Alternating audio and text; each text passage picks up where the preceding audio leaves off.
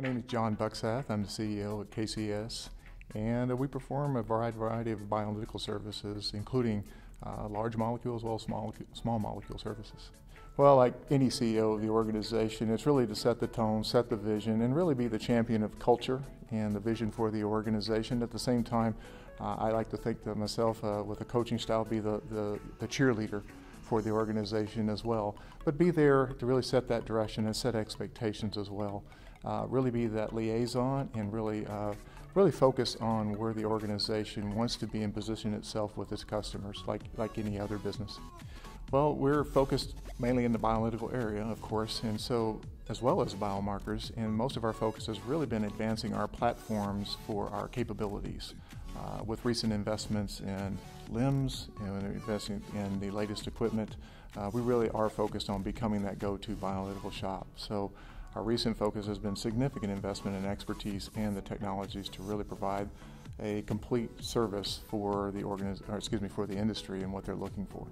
Well, over the last five to ten years, I think it's no secret there's been a significant amount of consolidation with a lot of uh, focus on globalization. There's been significant consolidation within uh, the U.S. as well as in Europe, and then of course the interest in becoming a globalized uh, offering to many organizations and to the industry has been a focus of, of many strategic operations.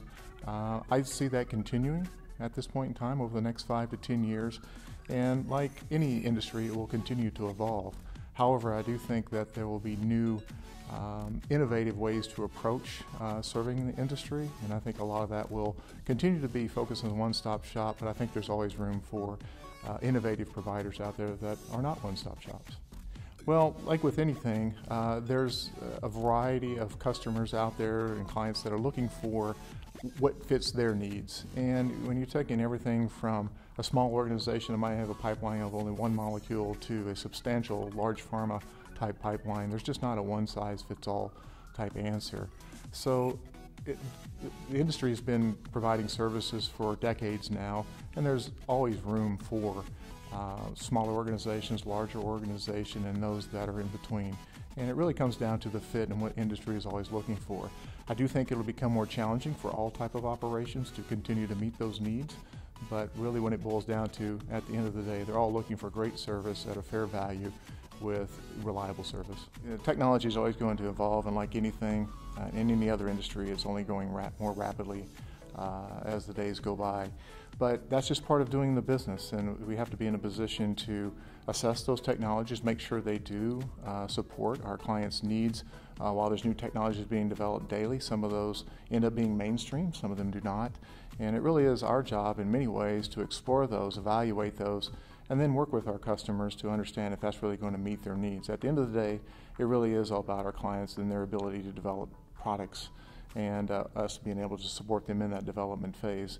And I think it's really evolved to the point where uh, the services industry really has to take some of that lead in helping their clients through that development process. So, again, that really puts the burden back on the services organizations to, in many cases, take that lead and really provide um, a lot of the advice and technology and you know the applicability of those services and that technology and how it will help drugs be developed in the future.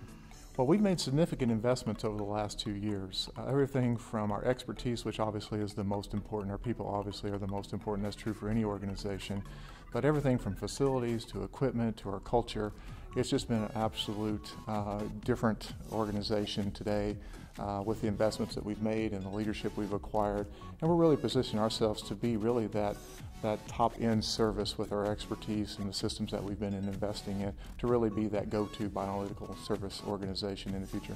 Well, I think everybody would, would agree that some of the advances that are out there, obviously immunology is, is a big focus. Uh, I get excited just, you know, just hearing about some of the applications there for what it's going to do for, uh, you know, the uh, patient population as a whole. So focusing in that area as well as additional areas, it really is becoming more of a, an attack across the board. There's so many more options today, develop products than there were say 10 years ago and 20 years ago.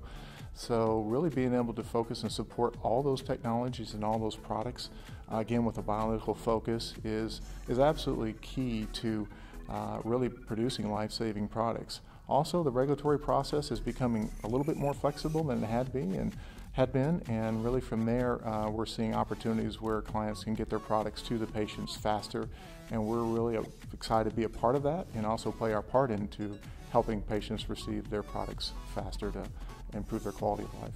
Oh, where will the field be in five to ten years' time? I think the fundamentals will still be the same. I do think it will continue to accelerate. I, I would anticipate that uh, there will be some major shifts in outsourcing providers. Uh, globalization will continue to, to move forward.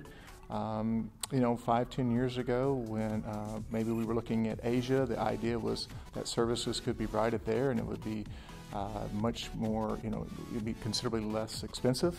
Uh, but today, now that market's being looked at as one of the growth markets for our industry and for our uh, clients, and then therefore uh, a lot of the demand uh, for the outsourcing services is within their own country. And that's not unlike many other industries that have gone before us. So I see the, the industry continue to grow, assuming there's no major economic changes like that tend to interrupt this cycle. But as long as that stays fluent and uh, everything stays um, heading in that direction like it has been, I see the industry only growing and uh, innovative products continue to make the world a better place to live in.